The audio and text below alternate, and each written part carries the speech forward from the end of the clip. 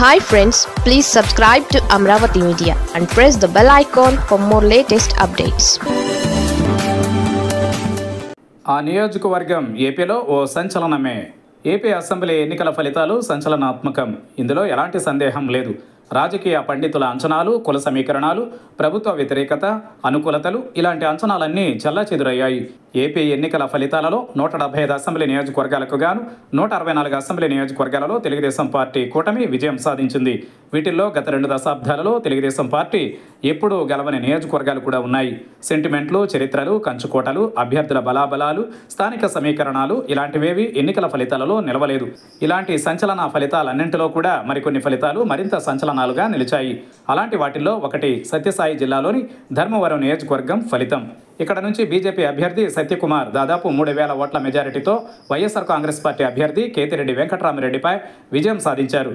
కేతిరెడ్డి వెంకటరామరెడ్డి ఇరవై సంవత్సరాల నుంచి ధర్మవరంలో పని చేసుకుంటూ వస్తున్నారు. రెండు వేల ఐదులో కాంగ్రెస్ ఇన్ఛార్జిగా ధర్మవరంలో ఎంట్రీ ఇచ్చిన వెంకటరామిరెడ్డి రెండు వేల తొమ్మిది ఎన్నికలలో తొలిసారి పోటీ చేసి నెగ్గారు. ఆ తర్వాత రెండు వేల పద్నాలుగులో ఓటమి పాలయ్యారు. రెండు వేల పంతొమ్మిదిలో మళ్ళీ నెగ్గారు. ఇప్పుడు ఓడిపోయారు. అయితే బీసీల ఓట్ల వాట గట్టిగా ఉన్న ధర్మవరంలో కేతిరెడ్డి ఓడిపోవడం కన్నా ఎన్నికలకు నెల ముందు నియోజకవర్గంలో అడుగుపెట్టిన వ్యక్తి అక్కడ నెగ్గడం పెను సంచలనమని చెప్పాలి. సత్యకుమార్ ఎవరో కూడా ధర్మవరం ప్రజలకు తెలియదు. ఆయన ఎక్కడి నుంచి వచ్చాడో ఎలా వచ్చాడో ఎందుకు వచ్చాడో కూడా ఎవరికీ ఎరుకలేదు స్థానికుడా కాదు. అసలు ఆయన కులం పేరును కూడా ఊరికే పెట్టుకున్నారని ఆయన యాదవ్ కాదనే అభిప్రాయాలు వినిపించాయి. కేతిరెడ్డి గత ఐదేళ్ళలో గుడ్ మార్నింగ్ ధర్మవరం అంటూ నియోజకవర్గంలోని ప్రతి వీధిని టచ్ చేశారు.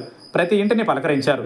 కరోనా రెండేళ్ళను మినహాయిస్తే మూడు సంవత్సరాలలో కేతిరెడ్డి నియోజకవర్గంలోని డోర్ టు డోర్ పలకరించాడు. సమస్యలను విన్నారు. చేతనైనవి పరిష్కరించారు. ప్రజలకైతే సమాధానాలు ఇచ్చారు. ఇక సంక్షేమ పథకాలు సరే సరి. ప్రత్యేకించి ధర్మవరం నియోజకవర్గంలో సుమారు లక్ష సాలె కులస్తులుంటారు.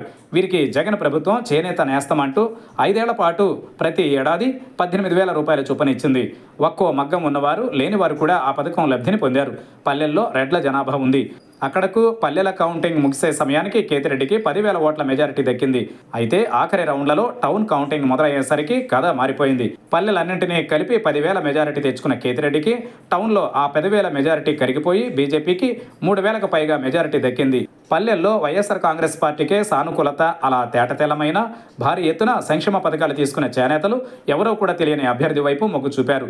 నియోజకవర్గంలో వీధి వీధి తిరిగిన అభ్యర్థిని ఓడించారు.